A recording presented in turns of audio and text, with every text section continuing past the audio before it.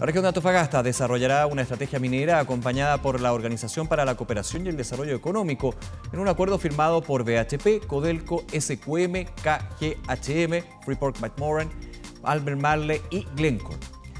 La tarea es generar un instrumento de planificación de cara al futuro, por lo que se estima que expertos de la OSD visiten la región en octubre próximo para repetir en marzo o abril de 2023 y cerrar el trabajo de un año en julio o agosto. Si todo resulta según lo esperado, la Estrategia Regional de Minería de la región de Antofagasta 2023-2033 será una de las pocas estrategias subnacionales sobre minería en América Latina. No olvides suscribirte a nuestro canal de YouTube.